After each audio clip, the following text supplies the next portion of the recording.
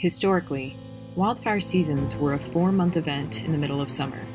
Today, the average core wildfire season is 78 days longer than it was in the 1970s, with Colorado experiencing large fires every month of the year.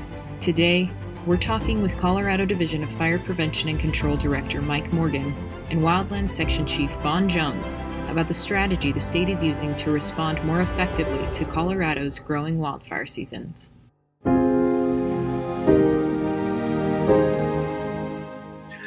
Well, 2020 was quite a year for fires in Colorado. We had um, 16 state responsibility fires um, in, in, 2020 um, that burned about 650,000 acres. Um, we had about $185 million in state and federal costs for suppression. That doesn't count the, the local costs associated with it, or the recovery costs, or the impacts from you know, insured losses and economies, et cetera, et cetera, or, or let alone the, the closures of I-70 this year, um, Glenwood Canyon due to the slides, uh, the, the, folks that lost their life in Poudre Canyon as a result of those slides. So um, it, it, was an overwhelming year for us. Um, Cameron Peak, you know, largest fire, most destructive fire in Colorado's history, 469 structures, including 224 homes. Um, three of the largest fires, five largest, three of the five largest fires in Colorado's history happened.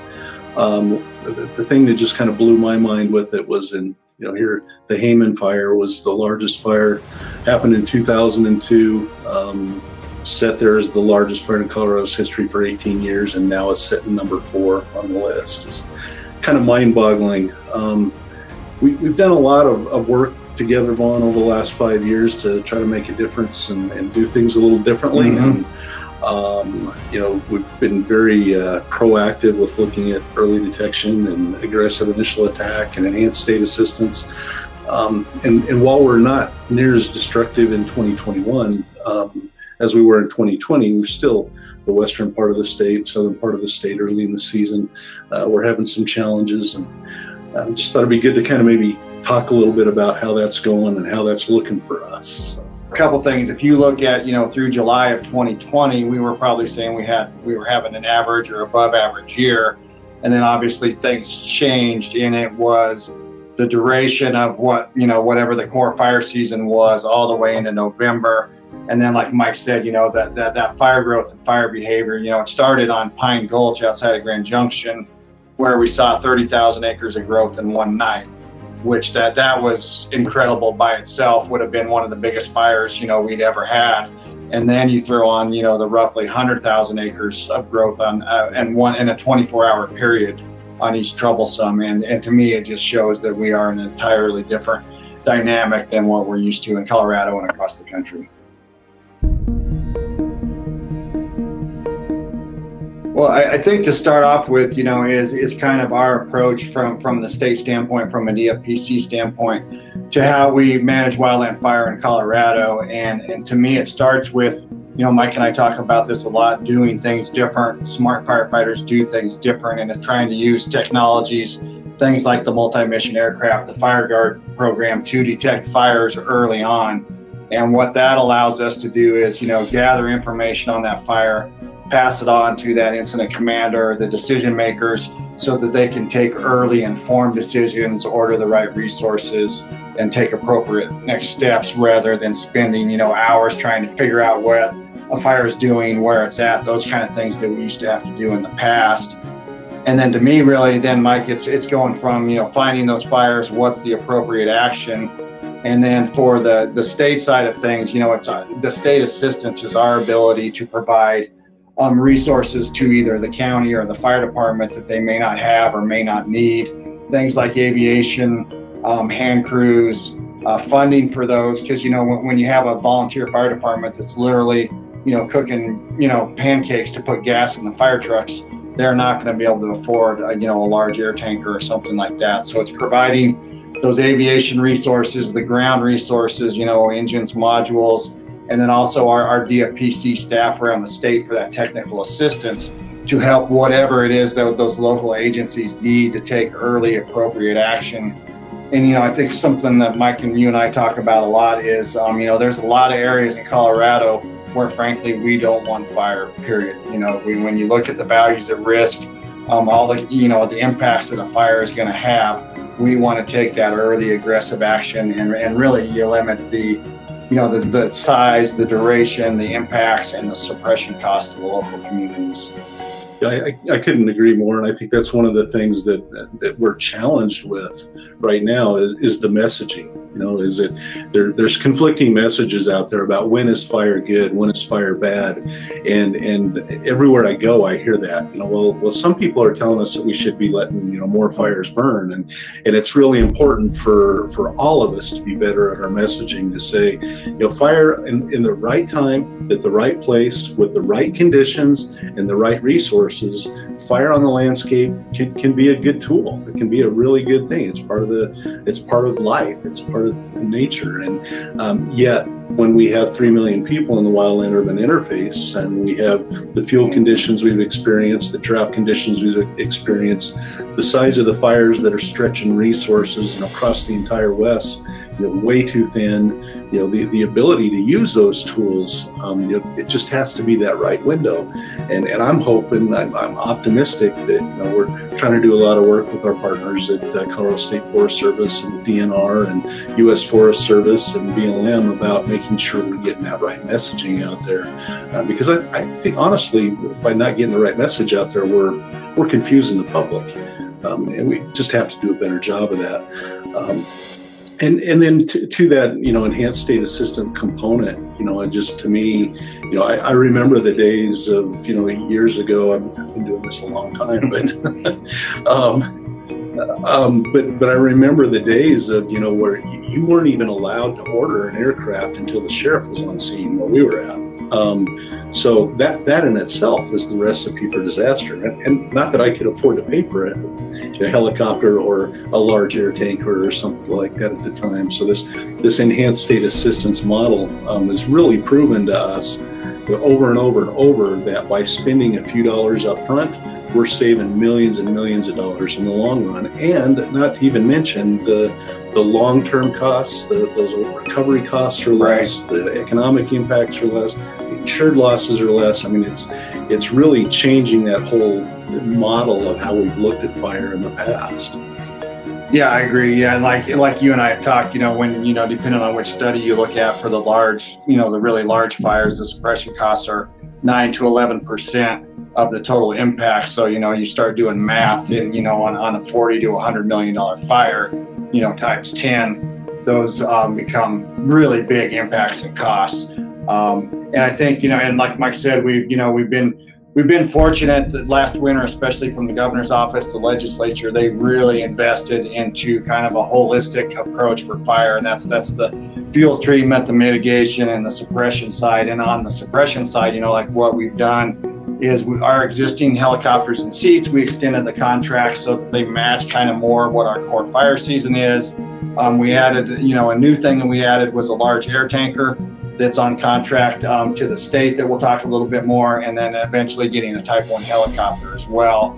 And then the other thing we did, that I think that'll have that already had some big impacts this year was, um, you know, the adding the, the, the tools and activities under state assistance that we can do, where we have funding finally from the state side to pre pre-position those resources based on whether it's indices or fire activity ahead of time to help those local agencies. Yeah, I want to build a little bit on something you said early on in that one, and, and uh, you know that the Headwaters economic studies and different things that show you nine to eleven percent of the costs of fire being suppression, mm-hmm. with ninety percent of the cost being the other impacts of that. And and when you see a, a Glenwood Canyon um, type of fire. I believe there was about $32 million in suppression on that fire.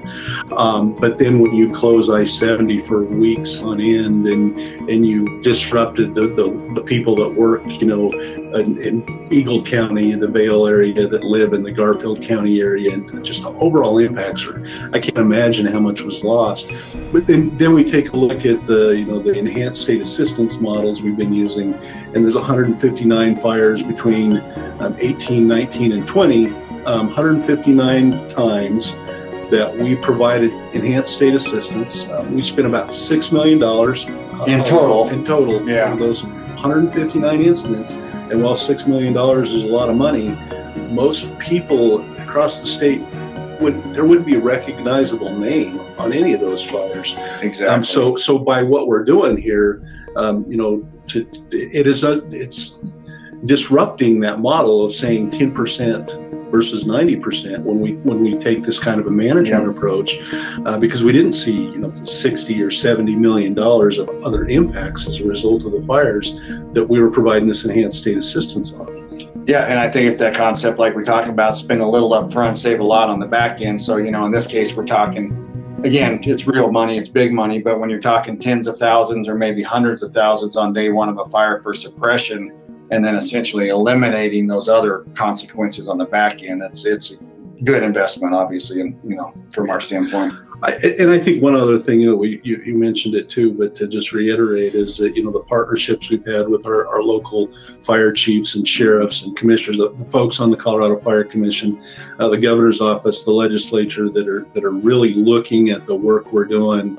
and, and paying very close attention to it and making those investments so we can have a meaningful impact. You know, it's, uh, one thing I wanted to do was use this opportunity to kind of give some examples from the 2020 fire season. You know, obviously not as active as 2020 or 2018, but just kind of show the value of this enhanced state assistance we've been talking about. So in the last week alone, our DFPC aircraft have responded to 13 different fires across the state with a total of about 100 flight hours. And then in addition to that, you know, we, we flew on a search and rescue mission in Ouray County and help Colorado Parks and Wildlife with restocking fish in a high elevation lake. So that you know that by itself is pretty impressive. Um, and then when we, we, talked about the technology, so the MMA, the multi-mission aircraft, found 40 new fires that had been previously undetected in that week. And we, um, they also the MMA provided mapping support to eight different fires that actually started to grow. So that that's an example of using that technology that we talked about to do things better. And then our seats, our large air tanker, and our helicopters, you know, from a tactical response standpoint, had 35 different missions. Um, and that included over 134,000 gallons of retardant and water delivered. And then, in addition to the aviation resources, we had modules and en- engines responding both to wildfires across the state as well as helping those local communities with all hazard um, responses and other kinds of incidents, and giving those sheriffs and chiefs um, you know, that, that technical assistance on those wildfire events. Um, and, and, I'm going to ask a couple of questions primarily because I already know the answers. But um, but it, you said uh, the week of August 24th, starting that week. Um, on August 24th, how many large air tankers were there in the state of Colorado? There was one large air tanker in Colorado and one large air tanker in the entire five-state Rocky Mountain region. Okay, and uh, whose whose aircraft was that contracted with? Uh, DFPC, the state of Colorado. Do we think that having that aviation asset here made a difference in the size of these fires as we're talking about this model we're trying to use? I think absolutely. Yep. Yeah. So, and, and, I'm asking Vaughn loaded questions, right? Because we both know the answers to it, but but it's just that illustration of you know, where if we did not have an exclusive use contract for a large air tanker with operational control under us, then we would be relying on Boise and NIFC, um, the National Interagency Fire Center, to prioritize resources on where those go. And we would be competing with 19 states um, that are in various conditions for fire that um, so uh, i just think it's important that as we have these conversations everybody understands the difference that makes when we don't have to um, call and ask for a, a, an aircraft to be diverted you know from someplace in in california to be released from a fire that can be moved to colorado to to help support what we've got going on here on a bad day. So, um, and, and, I think probably, and I don't have all the numbers in front of me, but I think probably from the uh, the Type One helicopter and, and, the Type Two helicopters were probably in the same boat um, with those. Yeah, and I think um, you know it depends on which day because the aircraft move a lot. But I know from and you know dialing down to a Colorado standpoint.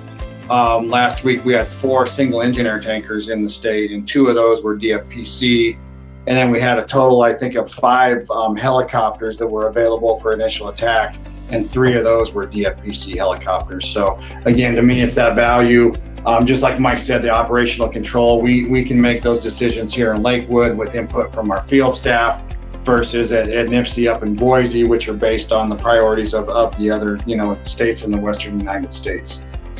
I'm sure um, I'm sure even our federal partners were pretty grateful last week for us to have that exclusive use large air tanker because most of those fires they were flying on were actually federal fires. They weren't state responsibility fires. Exactly, yeah. And, and I think to add on to that, Mike, um, I know we, we got kudos earlier in August from the BLM in Wyoming. Um, because we, they, they used our air tanker for a day. We'll loan those out, as you know. You know, if there's if there's not a pending mission in Colorado where we can go to say Wyoming and get back in the same day. We'll help our partners out. So we helped in the month of August, we helped Wyoming, South Dakota, and Nebraska out.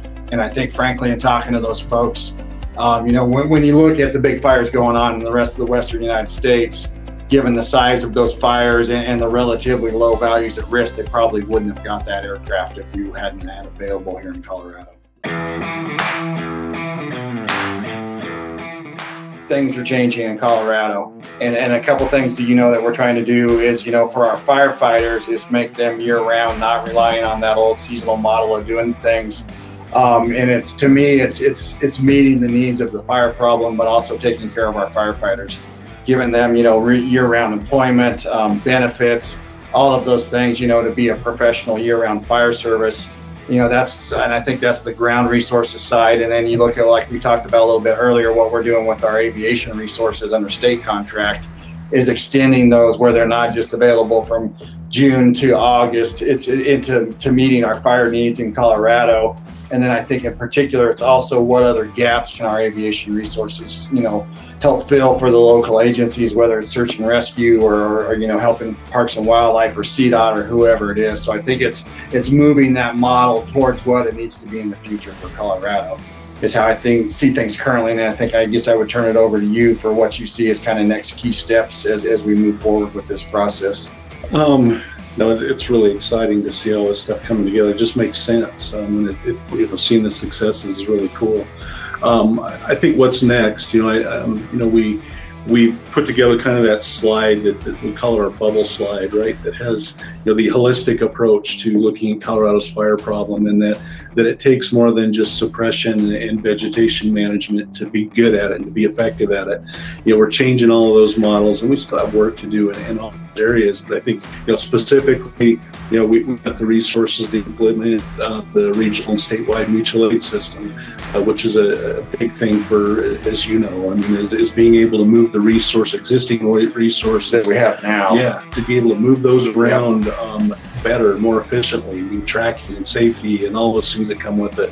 Um, you know, the I think you know as, as you know the the Firehawk helicopter helicopter you know is going to be delivered sometime next year, and now all of a sudden the extended aviation contracts, the you know year-round um, Firehawk um, now all of a sudden it's like, well, how are we going to be effective at dispatching those as a whole, you know, for those longer seasons where we historically relied on an interagency center that's seasonally staffed based upon what the federal land management agencies need which is at the higher elevation and the different things. It's just not the same as the, the public mm-hmm. safety challenges we're faced with. So, so looking at how do we move resources around better, I mean, it inevitably says, well, we, we need to take a look at, you know, how do we move fire resources? How do we dispatch those more efficiently?